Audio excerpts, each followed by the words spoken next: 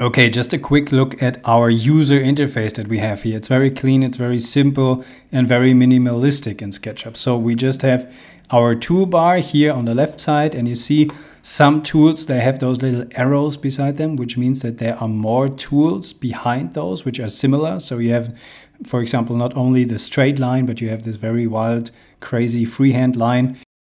And this is the case with other tools as well. So this toolbox is quite powerful, but you have all the tools hidden behind other tools.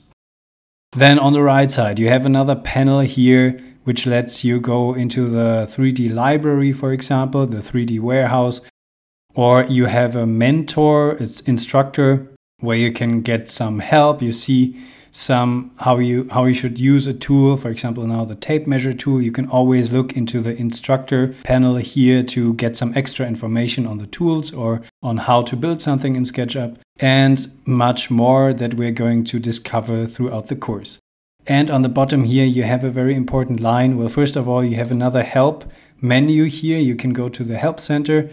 You have the menu for changing your language very quickly. And then you have this panel here where you can sw switch between the mouse and the trackpad.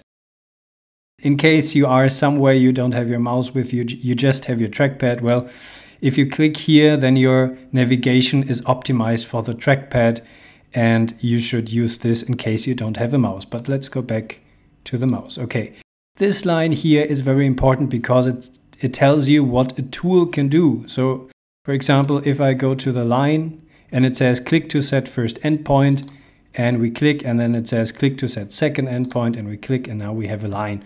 And also it says something about the additional functions of the tool. So whenever you select a tool for the first time, you should check out this line and see what this line tells you.